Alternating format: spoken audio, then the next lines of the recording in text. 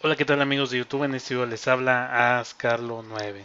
Y bueno, esta vez les traigo un nuevo video donde les enseñaré a cómo solucionar el problema cuando nosotros mandamos imprimir algún archivo, algún documento y sale una hoja en blanco de más, ya sea con propiedades de nuestro archivo o simplemente una hoja en blanco de más, porque nuestro Word imprimirá una hoja extra. Bueno, hay diversos factores, diversas soluciones y ahorita lo vamos a ver.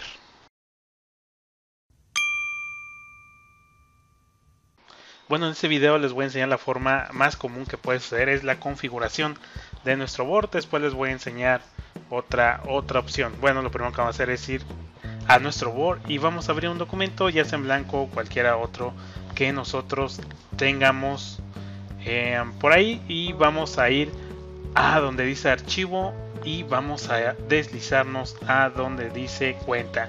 Por ahí vamos a ir a donde dice opciones y nos vamos a ir a la pestaña de donde dice presentación y como vemos hay una opción marcada que dice imprimir propiedades del documento. Esa opción siempre debe estar desmarcada porque si no nos va a salir una impresión extra por impresión de las propiedades o simplemente también nos puede salir en blanco.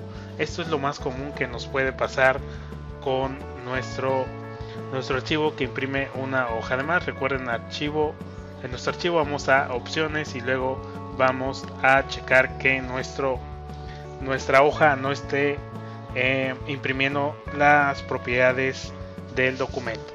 Es muy importante que lo revisemos y esto es lo más común que nos puede pasar a la hora de mandar a imprimir y que tengamos este tipo de error.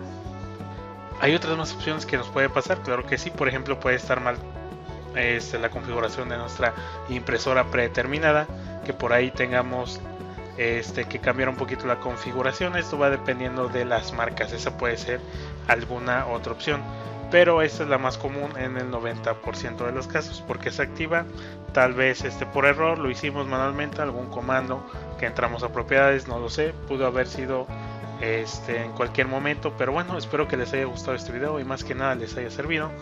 Ya saben que por favor ahí en los comentarios me pueden decir si tienen algún problema. Nosotros esperamos a contestarles lo más rápido posible y nos vemos hasta la próxima. Y adiós